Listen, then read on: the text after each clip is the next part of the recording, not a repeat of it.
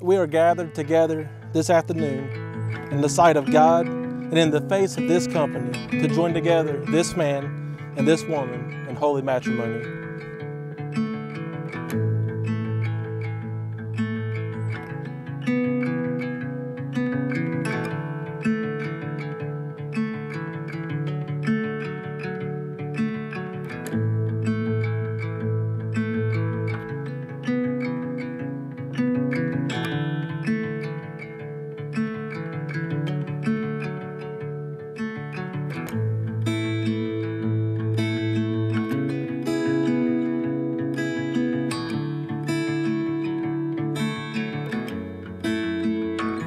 Marriage is the first institution given for the welfare of the human race. In the ancient Garden of Eden, before the tempter had touched the world, God saw that it was not good for man to be alone.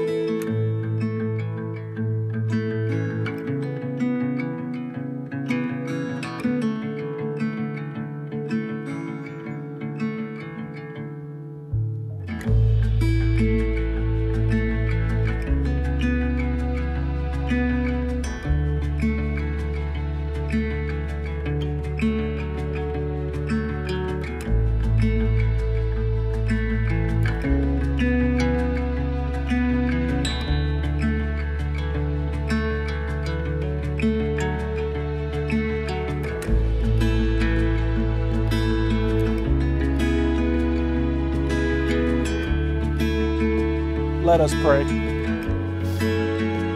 Most gracious Heavenly Father, dear God, as we come before you this afternoon, Lord, we rejoice for this exciting day for Jeff and Melissa.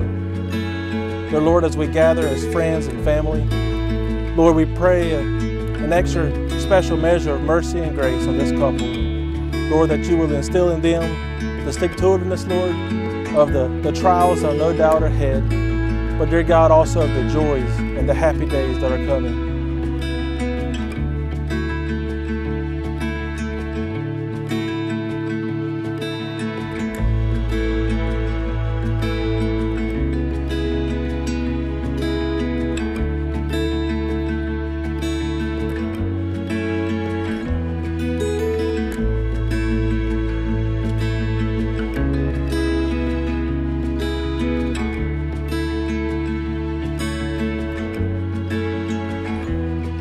Lord, we just pray you, you bless this that's, that's happening right now. Lord, that you be with us and be with them. For it's in your precious Son, Jesus' name we pray. Amen.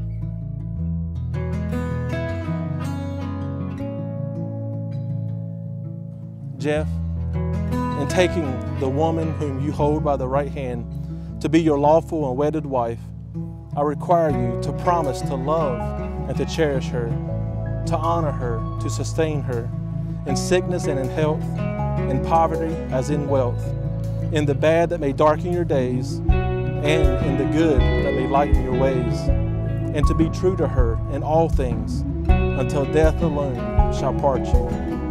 Do you so promise? I do.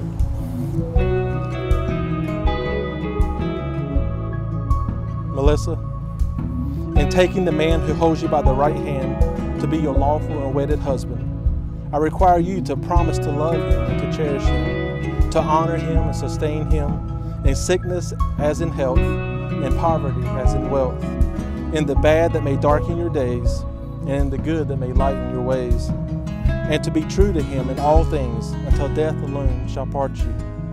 Do you so promise? I do.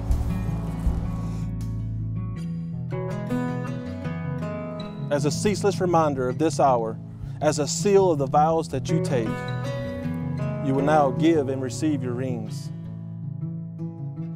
I now present to you Mr. and Mrs. Jeff Tripp. Absolutely.